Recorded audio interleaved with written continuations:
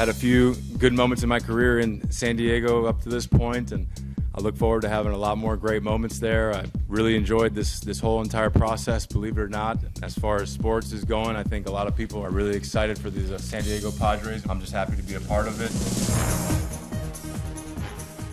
I'm Darwin Zook with the MLB.com Fastcast.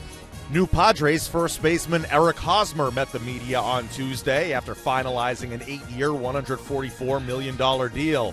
Pads GM AJ Preller knows the 28 year old four time Gold Glove winner is a great fit in San Diego. Eric, as a player, um, a lot to the table. Uh, you know, I think from, from an offensive standpoint, he's demonstrated ability hit for average, hit for power. Uh, he's a two-way player. He's a defender. Obviously, a four-time Gold Glove winner. And from our standpoint in the baseball operations, we were so convicted that he was the guy for us at this time.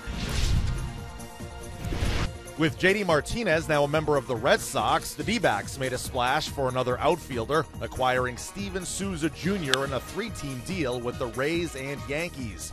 Arizona also gets Yanks pitching prospect Taylor Widener, while New York receives Arizona infielder Brandon Drury. As for the Rays, they get Yanks prospect infielder Nick Solak, as well as D prospect lefty pitcher Anthony Banda. Yeah, I played this game for two reasons only, and the first is to give glory to God, and the second is to win a World Series. And so I, I am extremely thrilled to be a part of an organization that wants to do that. And the Yankees reached out to the Diamondbacks about Brandon Drury during the winter meetings back in December, and their interest in him is basically as a guy who can give Gleyber Torres and Miguel Andujar some more time to develop.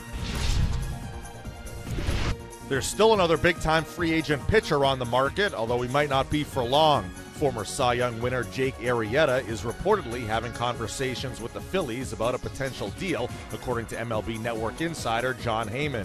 The 31 year old Arrieta went 14 and 10 last season with the Cubs, notching a 3.53 ERA. Jake Arrieta is still looking for a deal similar or maybe better than six-year, $126 million deal that Yu Darvish got from the Cubs recently. The Phillies are not really willing to go more than three years, maybe four years on a deal for, for Jake Arrieta.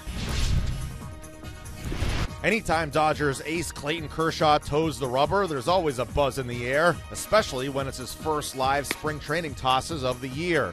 The three time Cy Young winner's outing was short, throwing 22 pitches to Yasiel Puig, Chris Taylor, and Andrew Toles.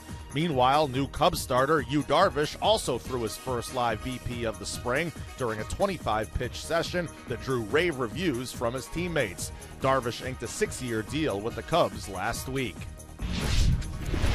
For more on these stories and complete spring training coverage, keep it locked in to MLB.com.